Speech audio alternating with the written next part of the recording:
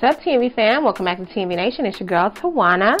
And I am here by myself today. I'm going to be, I can't even talk. I am going to be reviewing this non alcoholic wine. So I'm going to tell y'all a little bit about how I ended up with this wine.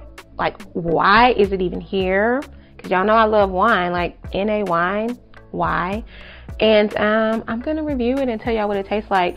I've already drank some of this. So as y'all can see, it's open. This one is open like accidentally. I had just a little bit of a little sip of that. So I'm gonna tell y'all what I think about it. The hubby and I, we try. Y'all know we like our wine, we like our drinks, but we we don't drink all the time, right?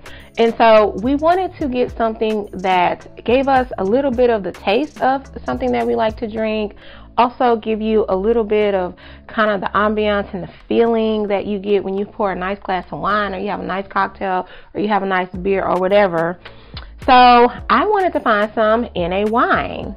So hubby actually found these for me and picked them up.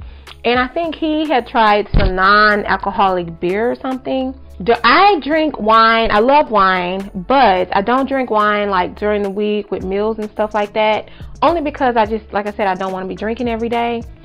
But I do like to relax with a glass of wine. So I have actually had this one a couple of times, and I'm gonna tell you, I'm gonna taste a little bit more on camera here, and I'm gonna tell y'all what my thoughts are about this wine. So this is uh, by the brand Fre. Wait, this is by the brand Fre, F R E. Let me tell you a little bit about um, this wine. This non-alcoholic wine is not technically 100% non non-alcohol. Um, the it's alcohol removed wine. They take a regular wine and then it goes through whatever process it goes through so that the alcohol is removed from the wine. Now, the alcohol is not they're not able to completely remove all the alcohol, but you're supposed to be left with a little bit, well, a lot of the wine flavor, but without the alcohol. Um, but I've tried this. The thing is, when you remove the alcohol, of course, it, it changes the flavor. For a beverage to be considered non alcoholic wine or whatever, it has to have less than 0.5%. So this has less than 0.5% alcohol by volume. So again, that's not a 0%, it's less than 0.5%. But there have been a lot of studies done on these types of wines. It cannot get you drunk. Apparently, even if you drank like a whole bottle of this, a whole bottle, probably more than one bottle, it's just not enough for the alcohol to build in your bloodstream because the alcohol um, percentage is so low as your body is taking it almost as soon as your body is taking it in it's metabolizing it and moving it out so it's just not enough to for you to feel it but i'm gonna go ahead and pour a little bit of this Fre white zinfandel one I really like it. Like I said, I had it before. Now I had it a while, so it might not even still be that flavorful. This is good, y'all. This is good. Now, let me tell you, I am not a Zinfandel kind of drinker. Okay. But I do like a Zinfandel. And when I first started my wine journey, I drank a lot of Zinfandel because it, it's a little sweeter as most wine drinkers, we tend to start with sweet wines until we really start to um, really enjoy the flavor of wine. But this is good, y'all. This this tastes like an actual real Zinfandel. It tastes like a white Zinfandel. It really has that flavor. I don't know if y'all can see how much of this I've drank. Look, this is almost all gone. I've drank more than half of this wine. And I'm telling you, it could be placebo effect. I don't know. But when I drink this wine, I'll drink a glass of this at night. I feel relaxed. I think it helps me sleep. It could be all in my mind. But it could also be, I don't know. They say that 0.5% you shouldn't feel anything, but I don't know. It's just, I, I guess, just having a glass of anything at night as you're relaxing is going to cause that relaxing effect. Mm-hmm. I'm going to give you two ratings. I'm going to rate this compared to its actual regular um, type with alcohol. I'm going to rate it just for its own flavor.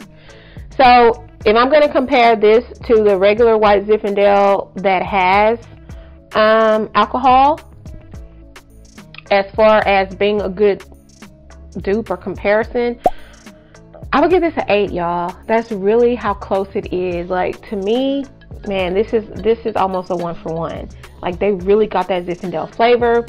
Um, as far as the flavor on its own, mm, I'm gonna go with the same rating. I'm, I'm still gonna give it an eight for both ratings. Um, this is really good and I like it.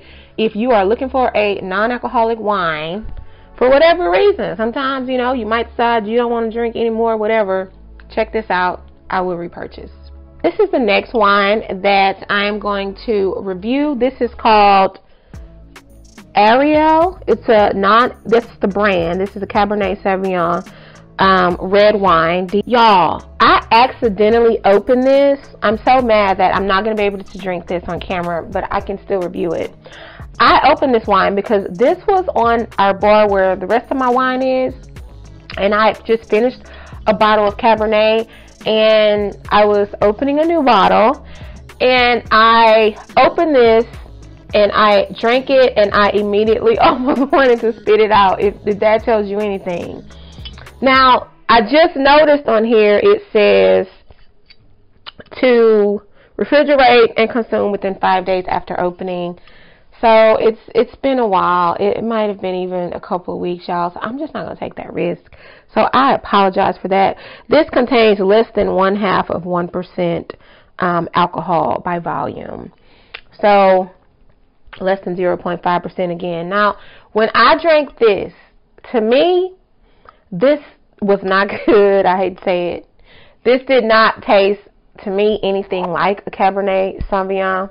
This tasted like some old stale grape juice. It literally tasted like that. So when I put this in my mouth, I immediately knew this was not wine. It just, it didn't taste good. Now, but I can tell you, as far as being a good comparison for wine, it was not. I knew automatically right off the bat. Like that other wine I just reviewed, had I accidentally drank that in place of Zinfandel with wine, I would not have known the difference. This did not taste good. It tastes like an old, um, maybe less sweetened grape juice, and I just didn't like it. I didn't like it even even if I was drinking it for grape juice, I, I wouldn't like it. So on the scale of one to ten, um, in comparison to real wine, I would literally give this like a two because it was that bad in comparison. As far as flavor on its own, I would give it a five, okay? But it just wasn't for me. So I'm going to the next one. I'm excited about this one. As y'all can see, it is not open. I have not tried it. I have no idea what it's going to taste like. This is also by that brand, FRE Free. I'm excited about that because the Zinfandel Fre was delicious. So I'm going to try this one. Again, this is the Chardonnay alcohol removed wine.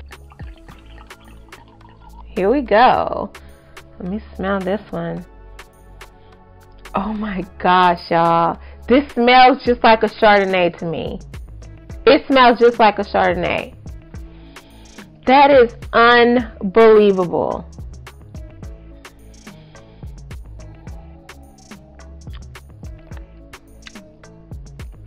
This is good, y'all. You know what this tastes like to me?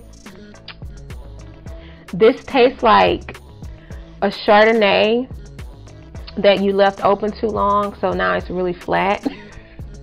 so y'all might be thinking, how is that good? Let me tell you how that's good. Because it tastes like the Chardonnay. If someone gave me this, I would think, oh, this is this is um a bottle that's been open a while that they hadn't drank up yet. The flavor is good. I like it. It's very all of these. I'm not I'm not going to review them as if I'm reviewing a wine, but I do want to say all of these are very smooth drinks. Um, they're not alcoholic drinks, so um, I guess they would be. But this is is like a, a flat Chardonnay. Mm-hmm. Rich. It says rich, creamy apple flavors with crisp citrus. just like a Chardonnay. You get that, that crisp, citrusy kind of flavor. I like this, y'all. So let me go ahead and rate this Chardonnay. Um, this Chardonnay is good. I will. I think I like this brand. This brand Fre makes some good non-alcoholic wines. Um, on a scale of one to ten, in comparison to this being close to the real Chardonnay, I'm gonna give this a. I'm gonna give this a six point five. And the uh, the only reason is that I think if there was a way where they could make it like less flat then because it, it's not it's not crisp like it's supposed to be. It's more you know, just flat. But I think if they could find a way to make it a little crisper, then um, I think this will be a one for one. But it's just like a, a Chardonnay that's been a, uh, that's been uh, in a bottle that's been open for a couple of weeks. Um, so for that reason, I'll give it a 6.5. As for flavor on its own, I would drink this on its own not really expecting, you know, like a wine flavor. I think the flavor is good. I would give the flavor like a 7.5. It's not too sweet, um, but it is sweet enough so where it's not dry. Like none of these are dry, like dry wines are. So it can be refreshing. I can see how this is chilled. It'll be a nice, refreshing drink with just a little hint of sweetness, but not too much um, smooth colds. Like I think it would give you know whatever you needed to give on a nice hot day when you want a refreshing type of drink. Or you could also use these. I've been thinking these are non-alcoholic wines, but you know me, I'm always like, okay, how can I uh, make this work with my real wine? I've actually been thinking about maybe combining these and doing like half and half. If I don't want a full glass of um, wine with alcohol, I I could mix like the non-alcoholic Chardonnay with a real Chardonnay. I think that would be good. Um, this will also be good to make this a little more crisp. But you could also make this into a spritzer. I think this would be good. Also, the Zinfandel, if you add, um, you could add Sprite or um, what else could you add? Any you can add like a, a what do you call a sparkling water or something like that um, to give it a little bit of a sparkle and make it more crisp. And I think it would be delicious. So like this video, give it a thumbs up, share it out with other wine lovers or just people you know who maybe want to cut back on alcohol a little bit and they might want to give something like this a try. And if you have not subscribed to this channel, what are you waiting on? We'd love to have you be a part of this community. Thank you so much for watching. Until next time, take care. Bye.